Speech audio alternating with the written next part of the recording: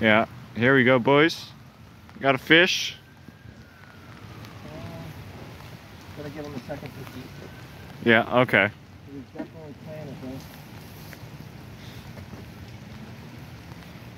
Yeah, here we are at Divers Lake. We all we just set the rod and we just uh, already got a bite. It was like two seconds and it was like Yeah. nice and easy. yeah.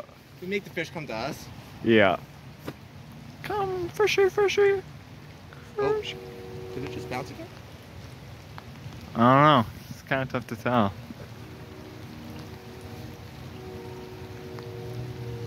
Watch the rod. Did we catch anything? I don't know. Tempted. I mean, you're the expert. It just, I'll give it one more cast out. Yeah. Because that was like really quick. He might have swallowed it, maybe. yeah. Ah, shit.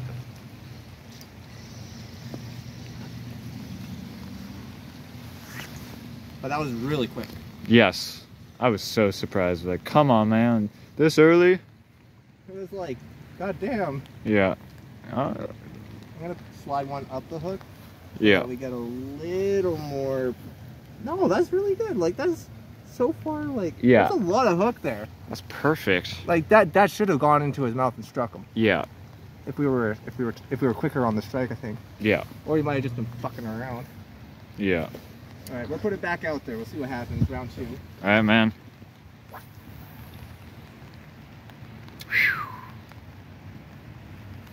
You like this rod holder right here?